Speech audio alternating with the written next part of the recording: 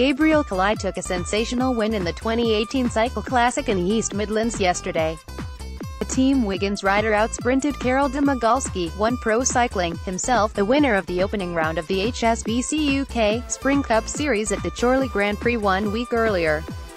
The two riders found themselves in a break of seven in the closing stages, joined by Koos Kers WPGA Amsterdam, Connor Swift and Erick Rowsell, both Madison Genesis, Peter Williams, One Pro Cycling, and Thomas Stewart, JLT Condor.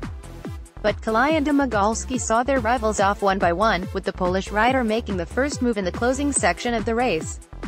Yorkshireman Cullaigh was determined not to be beaten, however, and held Domagalski's wheel before passing him for a famous win. After the race, the Team Wiggins rider couldn't contain his happiness. Speaking to its CiCLE Classic, he said, It was brilliant for me, great for the team. It just feels fantastic. It was hard, good fun as well. A war of attrition really, but good.